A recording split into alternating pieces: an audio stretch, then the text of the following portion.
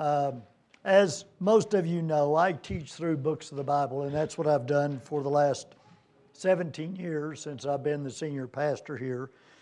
And when I came to Isaiah, I can tell you it was intimidating. It was intimidating to take on this book because, uh, as you have found probably, it is a different type of book because you're looking at in this book two different realms. You're looking at the here and now that Isaiah is speaking to, and the not yet. And so there, it is a prophetic book that is speaking to its contemporary audience, and then it's speaking to an audience in the future. And then, as I have learned, it is speaking to us today. And as I started Isaiah, I had no idea the true relevance it had for every one of us today. But that's the way the Word of God is. And when we look at Isaiah, the main, one of the main consistencies we see in Isaiah in the area that we're looking at right now, which is dealing with false gods and idolatry and those who follow them, is that that is a subject that's relevant for every generation all through history. Because here's what is true about man we will worship something. We have that built into us. God put it there. And we will either worship the one true God, our Creator, that we have sung about this morning and lifted our voice to, or we will worship something else. And again, in Isaiah's time, they typically worshiped statues and uh, things made of wood and silver and gold, and they made their gods and they worshiped those. But in the same sense, they also worship the idols that we tend to worship. They worship the idols of power and money and all these things that people chase after in order to try to find some kind of purpose some kind of security, and some kind of significance. And so, whether we're talking about a society that was 2,700 years ago, that Isaiah was writing to, or you're talking to ourselves in this day and time, the subject really doesn't change. Because people are pretty much people wherever they are and whenever they live. But God, in this section that we are looking at, and we will finish this mini section next week. And again, what we found is Isaiah is broken up into two major halves.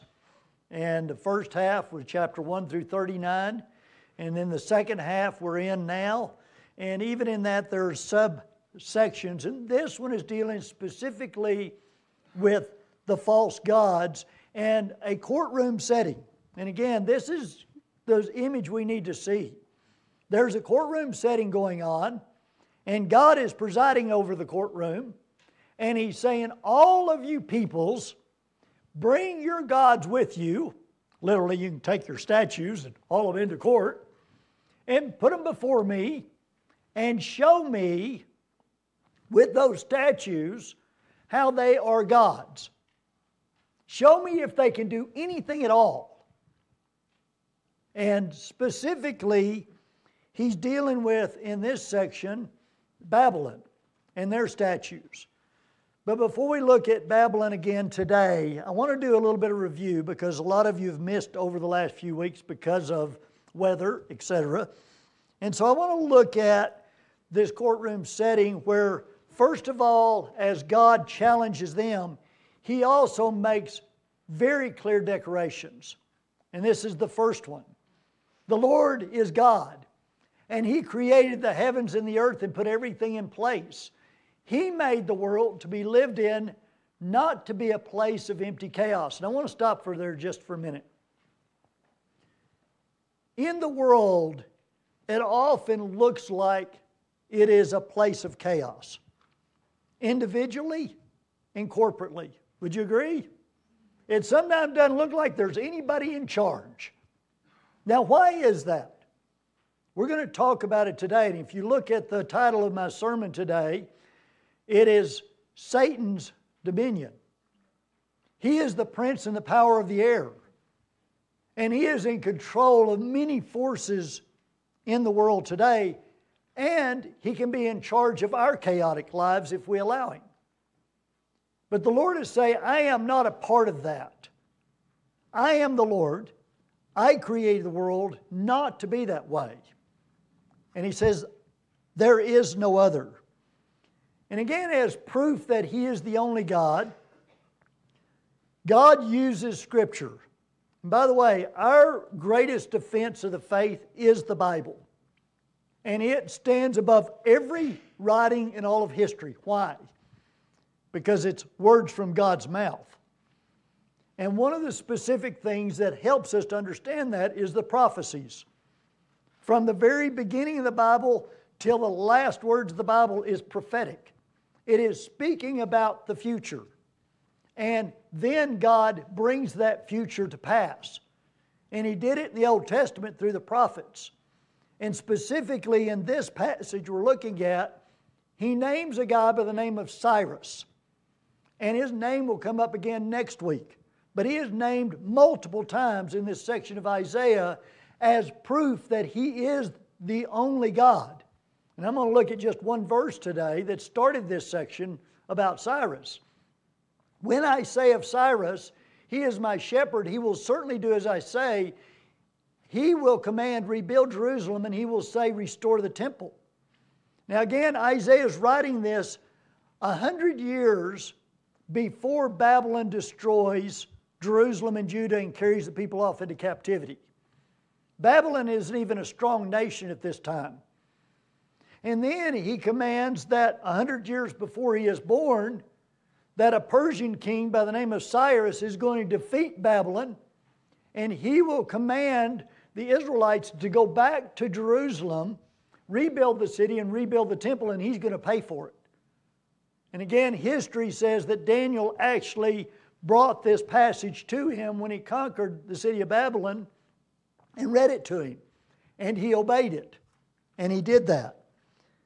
But beyond that, he also makes another declaration, which is key to this section of Isaiah. And that declaration is, and it's important to understand this, that declaration is that God is not just the God of the Jews. He's the God of the whole world, and He offers salvation to all the world. And that's what He says in verse 22. There is no other God but me, a righteous God and Savior. There is none but me. Let all the world look to me for salvation.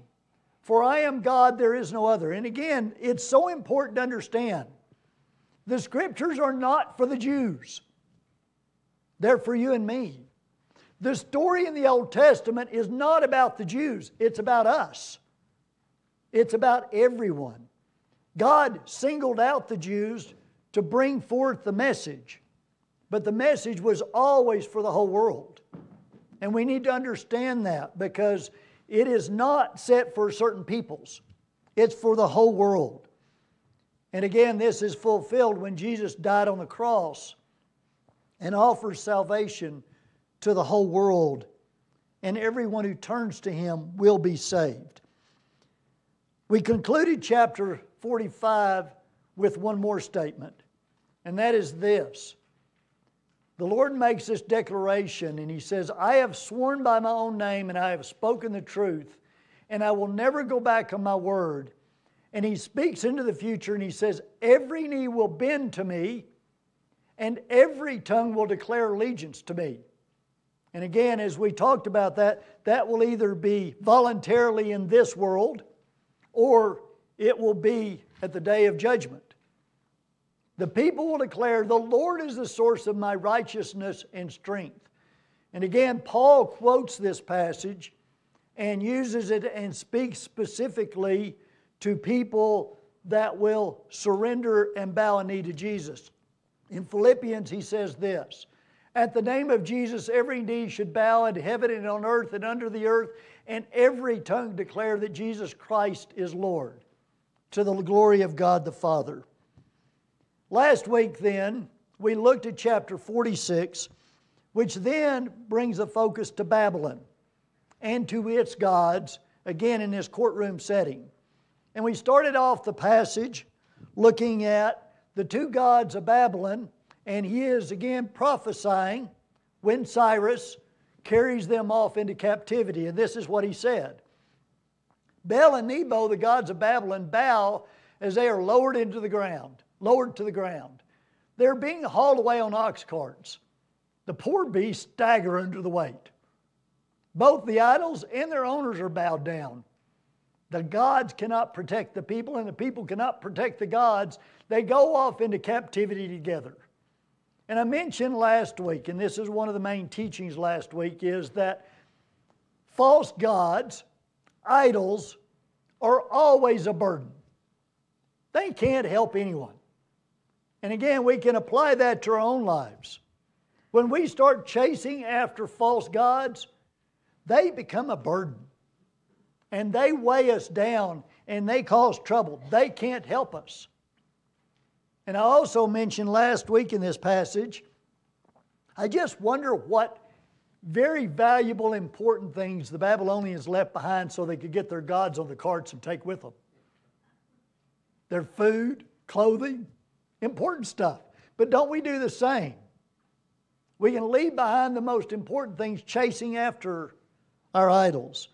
But in cra- contrast to the burden of worthless idols, the Lord promises to take care of His people and carry them. And that's what He said also last week, which was the other main point we looked at. In verse 3 and 4, He said, I have cared for you since you were born. Now, I want you to just stop and just ponder that for a moment. I have carried, cared for you from the moment you were born. Yes, I carried you before you were born. I will be your God throughout your lifetime until your hair is white with age. I made you and I will care for you, and I will carry you along and save you. And the point I made last week with this is this God has promised to care for His people from the moment of confession, conception until we die. And the question we need to ponder for ourselves is do we really believe this? And do others see it in our lives? Because this is our testimony. Does the, your family, your neighbors, and the rest of the world see you trusting God, especially in your times of trials? When you're going through difficulty, are you holding on to God in faith? Or are you whining and anxious and complaining and looking for sources to fix your problem? And I will confess this there are times in my life I do a really good job with this, and there are other times that I don't. But God wants us to always trust Him. This week we are going to pick up with the second part of this passage on Babylon. And again, if we'd had time last week, we would have looked at both of them, but uh, you guys won't stay past noon. You'll get up and walk out. So we have to split it up. And uh, we're going to look at Babylon again this week. But as we look at ancient Babylon and the prophecy against it, I want to look at a previous teaching we did in Isaiah many months ago, where Babylon is more than Babylon. And what do I mean by that? I want to look at a passage that is also speaking of Satan. And this is in Isaiah 14. And I want to just look at one little section of that passage with you this morning to bring it to, to pass. It says, How are you fallen from heaven, O shining stars, son of the morning? And again, there, if you look at this, most scholars, and I agree with them, this is speaking of the fall of Satan from heaven when he was enthroned in heaven there. Not enthroned, but he was there. You have been thrown down to the earth, you who destroyed the nations of the world. For you said to yourself, I will ascend to heaven and set my throne above God's stars. I will preside on the mountains of the gods far away in the north. I will climb to the highest heavens and be like the Most High God. Instead, You will be brought down to the place of the dead, down to its lowest depths. Everyone there will stare at you and ask, Can this be the one who shook the earth and made the kingdoms of the world tremble? Is this the one who destroyed the world and made it into a wasteland? Is this the king who demolished the world's greatest cities and had no mercy on his prisoners? Again, as we look at this passage, it cannot be about just Babylon and the king of Babylon. Why? Because it's too broad. It's speaking of the whole world. It is specifically about the king of Babylon in a narrow sense, but it's about Satan and Satan's dominion and his realm. And so we see as we look through this passage, we are looking at a dual prophecy. We're looking at Babylon, specifically ancient Babylon, and we're also looking at Satan as we go through this passage together. And to give you understanding of how the whole Bible looks at Babylon, I want to give just a couple of verses in the New Testament that speaks of Babylon in this universal sense. The first one's in 1 Peter. Look at what Peter says. Your sister church here in Babylon sends you greetings. Now, let me ask you a historical question and geography question. At the time in the first century when Peter is speaking, did the city of Babylon even exist? Nope, wasn't around. And almost everyone who looks at this passage is speaking as if Peter is in Rome, which is what history tells us where he died not too long after this. So here Babylon represents Rome. Now, what it is it about Rome that would mean it's Babylon? Well, it was a world center of power at that point in history, and it was evil and opposed to God's reign on the earth. And so Babylon here is the city of Rome in the Roman Empire, not the Babylonian Empire. And if we look in Revelation, there are multiple verses that talk about Babylon, and I just want to talk about one that speaks of the destruction of Babylon there that also mirrors what we're going to be looking at today, and that's in Revelation 4, 8, 14 8. Then another angel followed him through the sky, shouting, Babylon is fallen, that great city is fallen, because she made all the nations of the world drink the wine of her passionate immorality. Now, again, this is the def- definition of Babylon that we need to understand. It is a demonic entity that has the world following it and against God. And so when we look at Babylon, Babylon represents satanic influence over world powers. Now, I want you to think about that. It's a satanic influence over world powers, whether political or military. It could be either one or economic, which Babylon in the New Testament, there in Revelation, is talking about how everybody traded with the city of Babylon. And so it's this world system that's set up against God that is corrupt, proud, pleasure seeking, immoral, and always opposed to God. And it's important to understand that we live in that realm, this realm of Babylon today. And so, with that background, I want to look at this short passage of Scripture today dealing with ancient Babylon, but also in mind looking at the bigger picture of the Babylon we live in today as well. And I'm going to start with verses 1 through 5. Come down, virgin daughter of Babylon, and sit in the dust, for your days of sitting on the throne have ended. O daughter of Babylon, never again will you be the lovely princess, tear, tender and delicate Take heavy millstones and grind flour. Remove your veil and strip off your robe. Expose yourself to public view. You will be naked and burdened with shame. I will take vengeance against you without pity. Our Redeemer, whose name is the Lord of heaven's army, is the Holy One of Israel. O beautiful Babylon, sit now in darkness and silence. Never again will you be known as the Queen of Kingdoms. Again, the imagery here is that of a queen who is high and lifted up and lofty on their throne, who is being deposed and forced to be stripped naked and do slave labor, grinding in a millstone. You see, this would be horribly dreadful for any proud, self absorbed person. And that was exactly the case of Babylon. If you've studied history, Babylon was one of the ancient wonders of the world. You ever heard of the Hanging Gardens of Babylon? The city of Babylon was a wonder that had been built by Nebuchadnezzar. It was the pristine thing of pleasure. I mean, it was a place that had all modern conveniences that were unheard of in that day and time. And they were destroyed and taken into captivity. And see, the same thing can be said of Satan. And again, Satan offers these things that Babylon offered as well. He offers, you know, security and pleasure and purpose and meaning and all that. But all of it's a facade and will be gone and taken away in a moment. It will all be burned up. And that's what we hear from Jesus in the Bible in regards to that.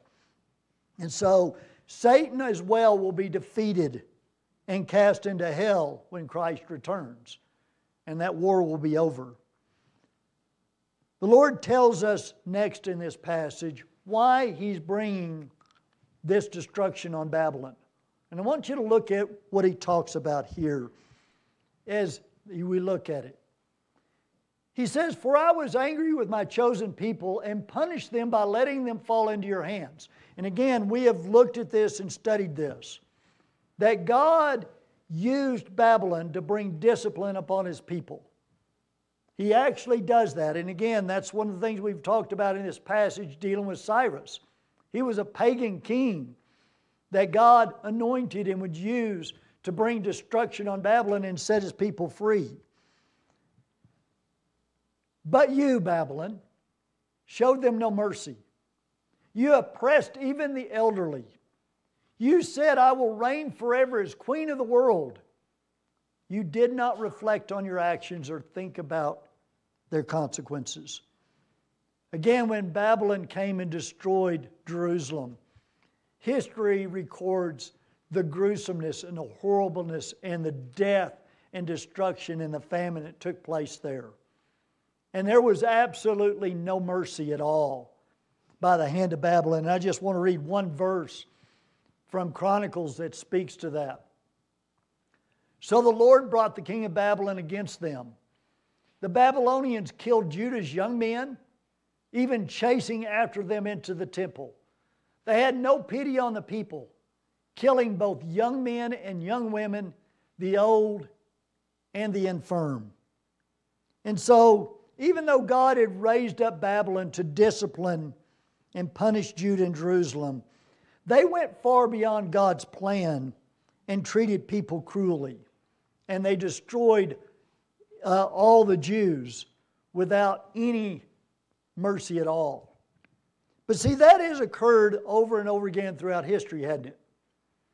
And see, we see this is again an image of the demonic realm, Satan's dominion on the world, where world powers don't just conquer people, but they slay the innocent, those that are no threat to them whatever. You see, Satan is out to destroy and kill every human being. We don't have an inkling of how evil Satan is. And people say, well, Satan will just leave me alone if I just do this. No, he won't. He is ruthless and he wants to destroy every human being any way he can.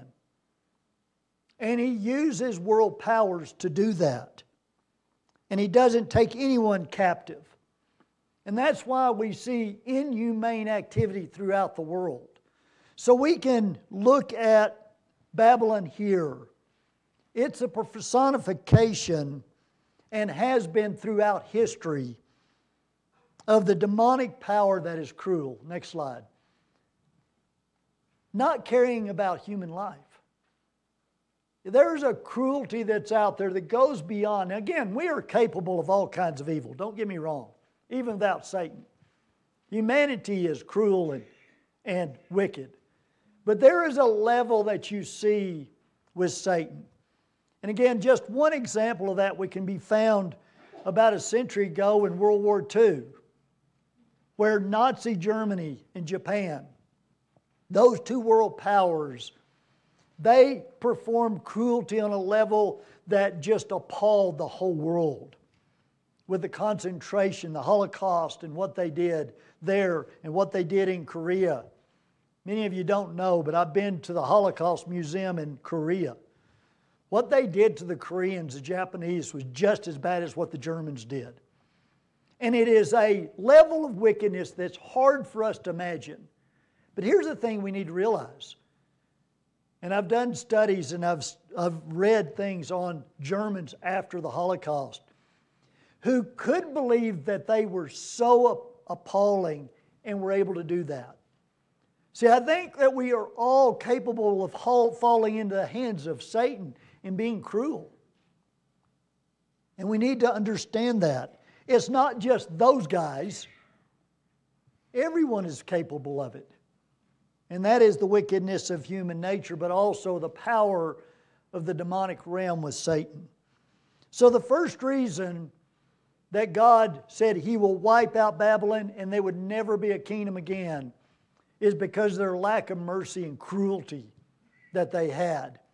The next reason we see in verse 8 listen to this, you pleasure loving kingdom, living at ease and feeling secure. You say, I am the only one, and there is no other. I will never be a widow or lose my children. I want you to look at this verse. What does Babylon say? I am the only one, and there is no other. Does that sound familiar? See, this is what God declares of Himself. And yet, Babylon is making this statement that they are seated above God and all human beings. See, that's what pride will do. Pride will elevate somebody beyond the realm of just seeing us as equal. And the thing is, we all can fall into that trap, can't we? But that's what the fall of Satan in heaven was. As I've studied it, and there's not a lot of information in the Bible, but that passage we read, Satan, what I understand, was created the most glorious of beings, of the angelic beings in heaven. And God had put him in charge of many things. But the Bible says his heart became proud and he thought he could overthrow God.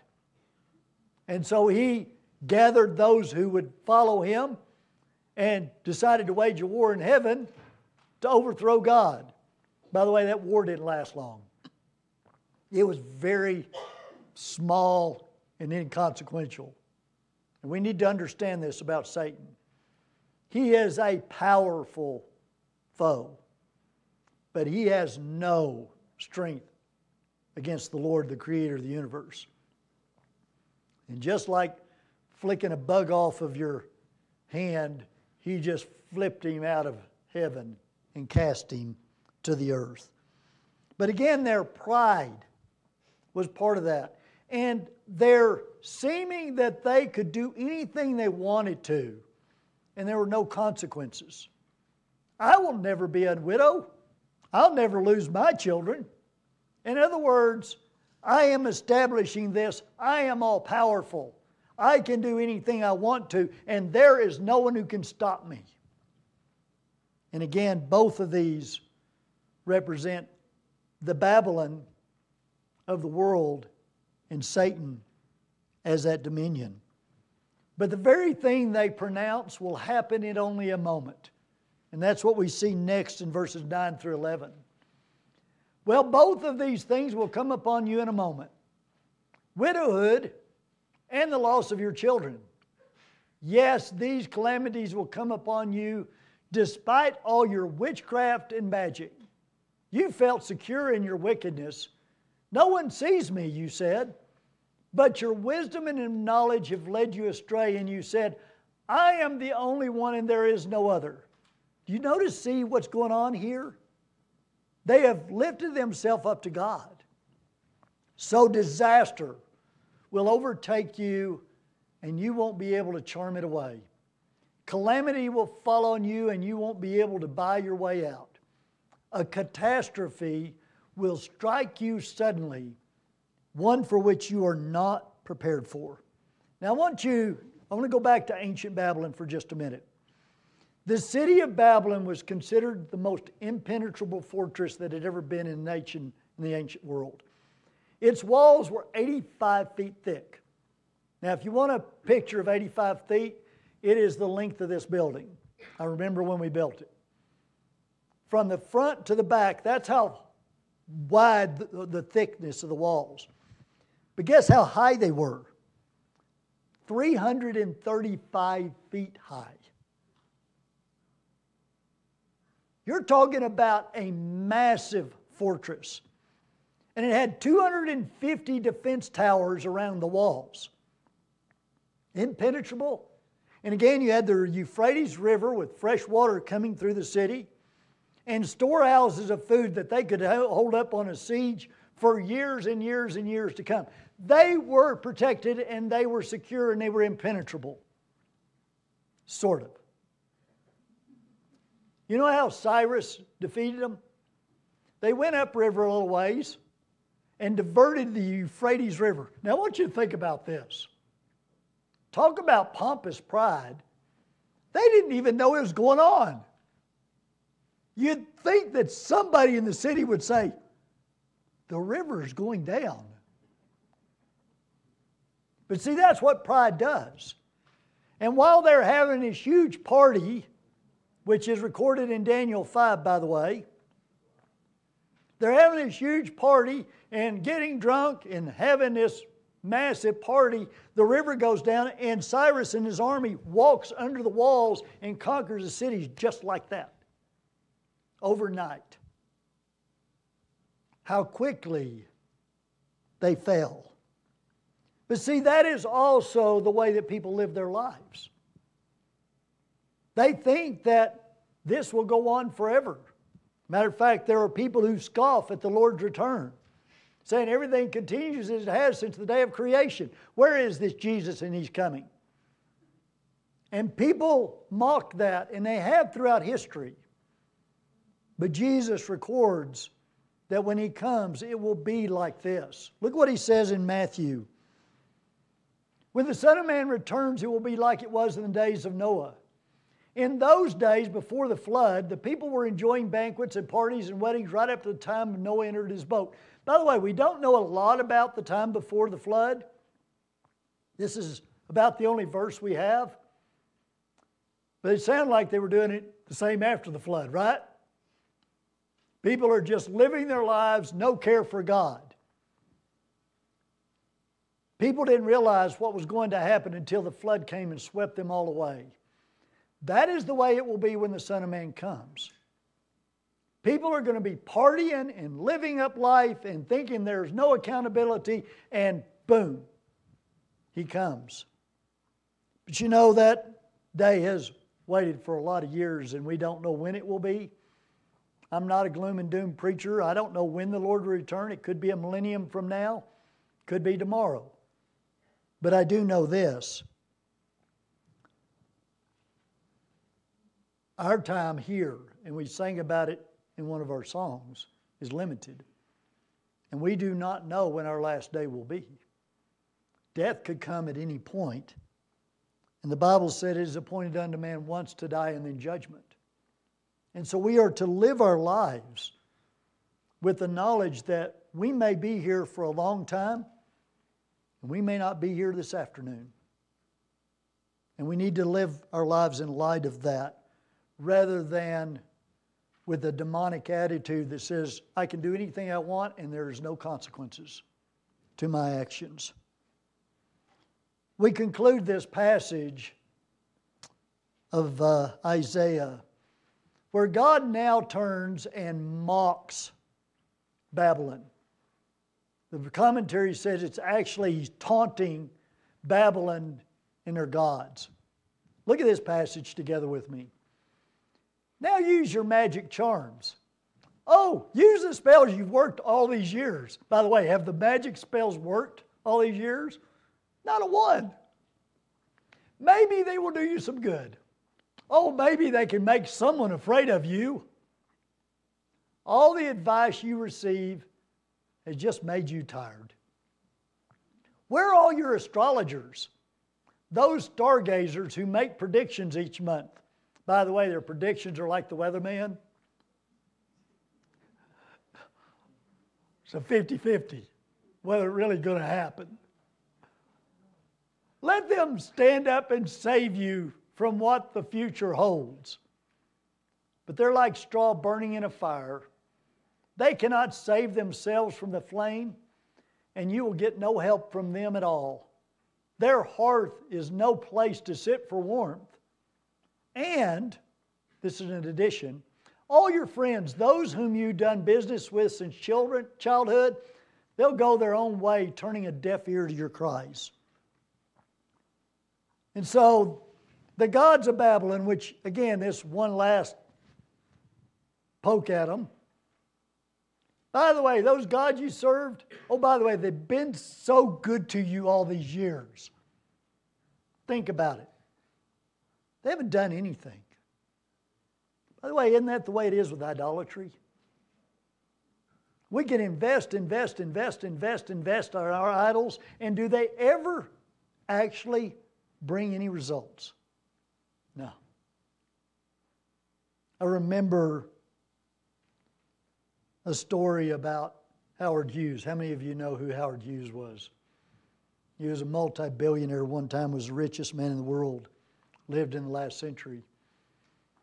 And the story goes that someone came to him and said, Mr. Hughes, when have you made enough money? When is it enough? You know what his answer was? One dollar more. It never's enough. And so we need to understand this passage, not just dealing with ancient Babylon, but dealing with the world we live in today. Our idols will not satisfy. And by the way, our so called friends, when we get in trouble, where do they go? They just somehow disappear. They don't answer their phone anymore. You know, they're just not available. That's the way of the world.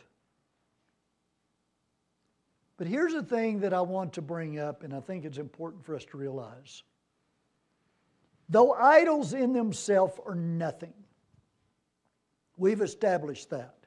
And we've talked about that for several weeks. But behind the idols is something else. You know what it is? The demonic, the demons that are there, that attach themselves to us and we become slaves to our idols and our sin. And they can bring great harm to those who worship Him and follow Him. And I want to just bring up one more example because I believe this is the number one idol in our culture that we live in today. And it's what Jesus says about money. No one can serve two masters, for you will hate one and love the other. You will be devoted to one and despise the other. You cannot serve God and be enslaved to money. And again, that's the issue that we see with that idol, but that's the case with every idol. You see, either we are serving God or we're serving our idols, which we need to understand when we're serving our idols, guess what we're serving? We're serving Satan because he is the one behind it. There's not any neutral ground. Our hearts are being devoted to him or they're not. And that's why Paul says this regarding money and that idol. But people who long to be rich fall into temptation or are trapped by many foolish and harmful desires that plunge them into ruin and destruction. For the love of money is the root of all kinds of evil, and some people, craving money, have wandered from the true faith and pierced themselves with many sorrows. Now, I want to properly exegete that passage real quickly. The Bible does not say that money is the root of all evil. How many of you ever heard that? That's a lie. Money's neutral, it's neither good nor bad. But when we make money our God, we love money above all else and we're pursuing that. When we do that, everything else pales and we will do whatever it is to grab that and have that. We don't ever see that in the world, do we? Do you ever see greed hurt anybody? No. But see, that is the reality that that idol brings, and it's just one of many. But understand behind it it's demonic because it promises to deliver something it never can deliver. And we all can fall trap to that. But it will not be there on the day you die. And it really can't help you in between now and then. And so Paul challenges us with how we are to live. I started meeting with Bo this week. Bo is finishing up his Master Divinity degree, and he has to have a mentor. And, and so they picked me because there's nobody else around in southwest Colorado. And we were visiting on Friday. And one of the courses he's taken is missions. And as we were talking about missions on Friday, the reality is that every person is a missionary. You see, there are some, like Bridget, that goes to Vanuatu, but most of us are missionaries where we live. We never move. And I think a really good interpretation of Matthew chapter 28, verses 18 through 20, is that as we go, it's not intentionally going out to visit with somebody, but as we go, wherever we are, we are to be missionaries. We are to live our lives and present Christ. And that's why it's so important that we've got our hearts right and we're trusting in God because the world's watching us every moment of the day. And are we hypocritical in saying one thing and doing another? And so Paul challenges us with whatever we're doing in our lives, wherever we are, whether we're working or in school or going to our neighbors or wherever we are, we are to represent Christ. And he says this in Colossians. He says, first of all, let the message about Christ in all its richness fill your lives. By the way, you cannot give something you don't have. teach and counsel each other with all with the wisdom he gives. By the way, that is compelling that we need to gather together, don't we? For worship, for study. Sing psalms and hymns and spiritual songs to God with thankful hearts. You see, gathering together to worship is very important because we are sending a message from our hearts to God. You know, I wish I could serenade my wife with love songs, but she would throw up. but you see the movies, you see the guy with the guitar, and you know he's serenading the woman, and she falls for him. That didn't happen with us. Uh, but there is a truth behind that that we are to worship God. And I sit over here in my little corner by myself, singing and worshiping God so I don't make you throw up. But I can tell you this it is one of my highlights every week is to worship the Lord through song and hymns and lift my heart to Him in thanksgiving for what He's done. And when we are living that life, here's the last part. And whatever you do or say, what does that entail? Everything. Do it as a representative of the Lord Jesus. Guess what kingdom we are to represent? It's not the demonic realm, it's the realm of Jesus in his kingdom. Giving thanks through him to God the Father. You see, wherever we are, we are living in Satan's realm. Acknowledge it. Don't be surprised at what happens in the world. It's always been demonic and fallen. That's the world we live in. But we represent a new kingdom. And that is the kingdom of Christ. And we are to live that kingdom in such a way that the world knows that we represent Him. Last week, I challenged us when we came to communion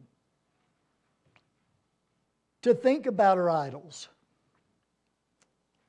I think we all have them. And I challenged us to pray and make a commitment to set them aside and walk away from them. And I'm not going to ask you to raise your hand. I'll just speak to myself. There were two that specifically I dealt with last week. And you know what? I made every commitment to get rid of them and out of my life, and this week they raised their ugly head again. Anybody else ever struggle with that? Now, does that mean we throw up our hands and we quit and we walk away? No. What it means is that we are to lay those things before the Lord and let Him give us the strength to overcome. I've mentioned to you before my history. And today's another anniversary for me. And I looked at the calendar, and I've been off a day for a long time. I didn't realize it. Do you know the 1979 calendar is exactly the same calendar we have this year? Yeah. January 28th fell on a Sunday. And I looked at it this week because I knew it was coming up. You know where I woke up on January 28th, 1979? In a jail cell. I got a DUI that night. Oh my, how God has changed me. He set me free from alcohol 45 years ago. Now, I wish I could say the same about all the other things I've struggled with. But as I share with people,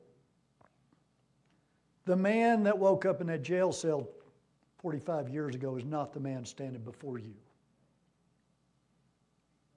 Because of God's grace and His mercy, He has changed me. And one of my sayings that I say about myself is by the grace of God, I'm no longer the man I used to be. That man isn't alive anymore.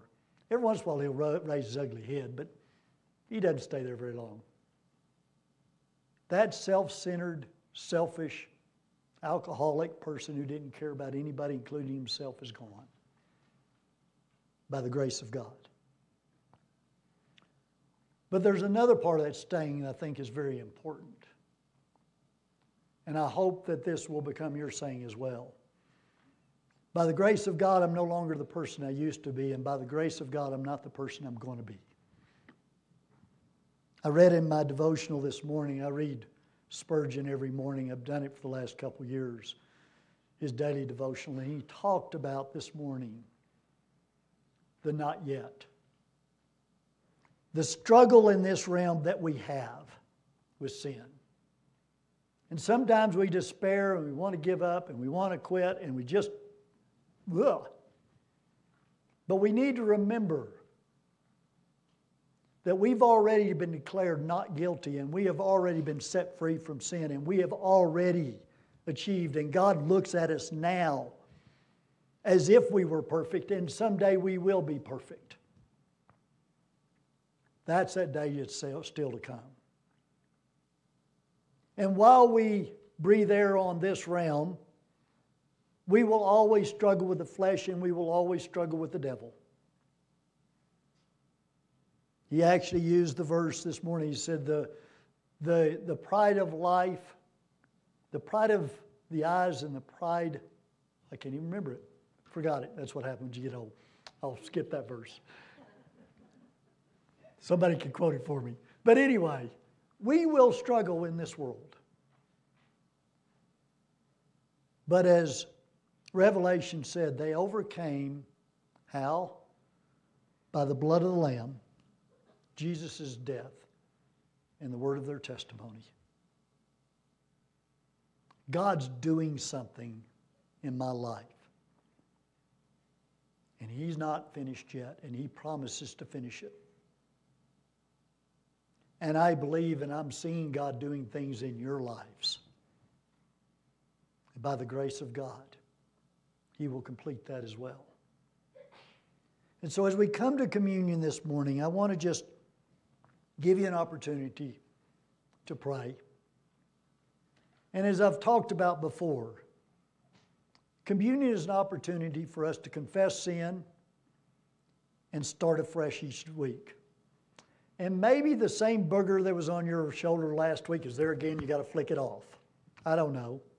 Maybe you're still struggling with the same things. But it's an opportunity to confess that to the Lord, surrender again to the Lord, and watch God do His thing. Because one Sunday you're going to show up for communion, and that's not going to be the thing anymore by the grace of God. And there are a lot of those things that are no longer a part of my life that used to be. So I wanted to give you an opportunity to just spend some time in prayer, and then we're going to come and get communion, take it together, and close the service this morning.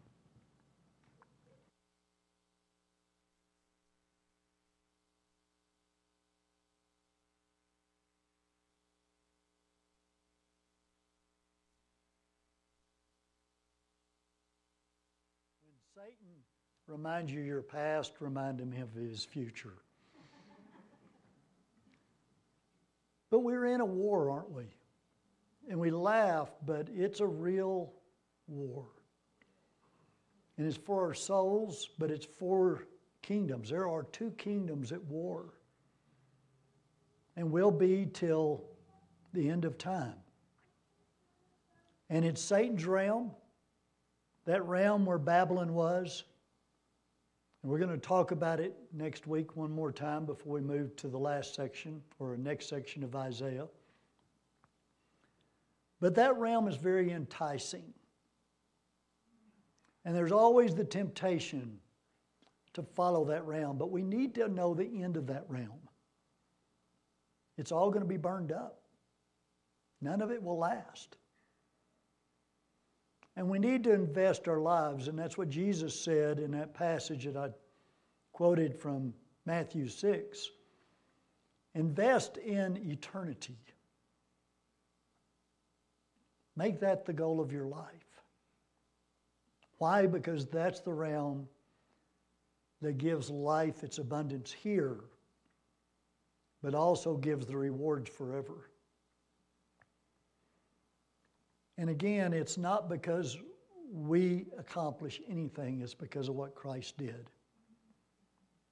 And that's why we need to be reminded when we come to communion.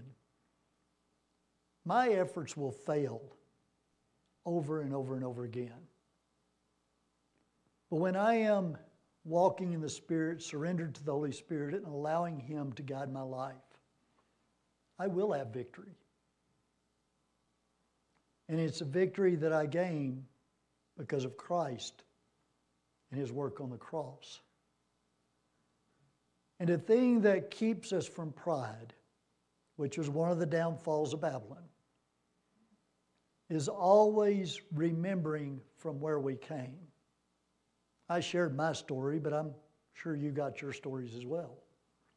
I just happen to have the microphone this morning.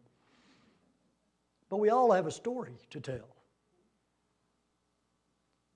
And it's a story about Christ coming and saving a wretched sinner and transforming a wretched sinner into a saint that's in progress. Emphasis on the last part. And so we never become proud. We never lofty. We never say, I have built this. Look what I have done. It should always be, look what God has done. And that's a part of what communion is about. Is as we overcome, we give glory to God. Jesus said, when you take the bread, remember my body that hung on that cross for you. Humiliated, naked, ashamed, dying for you so that you might have life. Let's eat.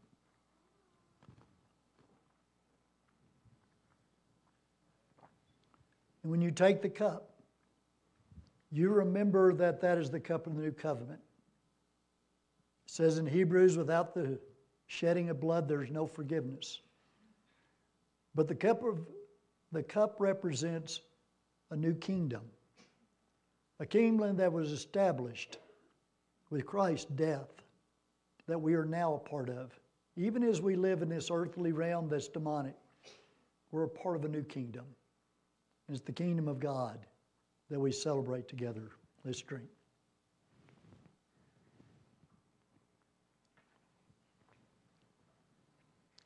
As we look at our benedictory verse, I want to just remind us of that before we pray. This has been our verse that we have closed the service with almost every Sunday for the last year. And we're going to be there soon. But that is the central message of Isaiah. It is the soon to come, the not yet, and the still to come. And it's interesting that we all live in that realm each day in our lives, don't we?